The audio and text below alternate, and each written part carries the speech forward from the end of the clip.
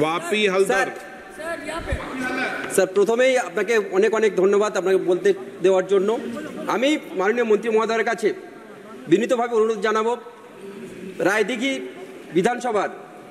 মথুরাপুর লোকসভা কেন্দ্রের জয়নগর থেকে রায়দিঘি পর্যন্ত রেল লাইন সম্প্রসারণের জন্য এক্সটেনশনের জন্য মাননীয় তৎকালীন রেলমন্ত্রী মমতা বন্দ্যোপাধ্যায়, আমাদের মাননীয় মুখ্যমন্ত্রী পশ্চিমবাংলার, তিনি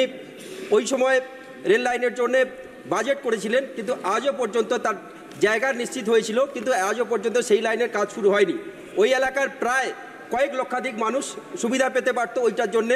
আজও পর্যন্ত সেটা হয়নি আমি মাননীয় মন্ত্রী মহোদয়ের কাছে অনুরোধ করব যাতে সে কাজটা দ্রুততার সাথে হয় এবং মানুষ যাতে তার উপকার পায় সেটা ব্যবস্থা করার জন্য